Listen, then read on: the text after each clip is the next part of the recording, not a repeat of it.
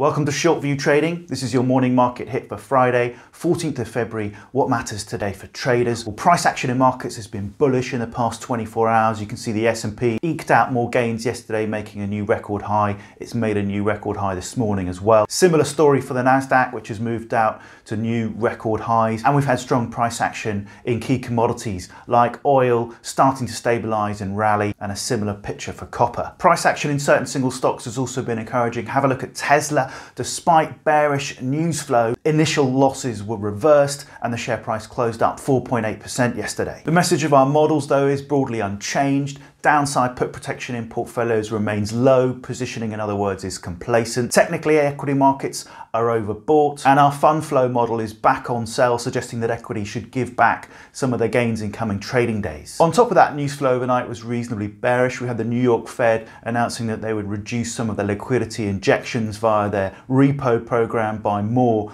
than many had expected. So, where does that leave us? How do we square bullish price action in markets with sell signals from a number of our indicators? We'll have a look at our daily rag publication for detail on that. So what are we watching today? Well, out of the US, we've got retail sales for January coming out at 1.30 London time. We've also got manufacturing and industrial production and we've got the Michigan sentiment reading later this afternoon as well. And we've got a speech by Fed's Mester probably less important this time on payment modernization. That was your morning market hit. Do follow us on YouTube, search under Shortview Trading. Join us on Twitter, LinkedIn, and Facebook. Thanks for listening.